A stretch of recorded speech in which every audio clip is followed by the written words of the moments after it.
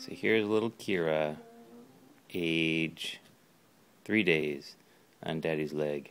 She is wiped out, man. Being a baby is tough work.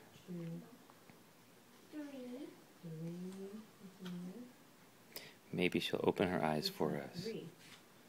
Or maybe not. Hello. People say hello in different ways all over the world. People say konnichiwa in Japan. Speakers Bye-bye, Kira.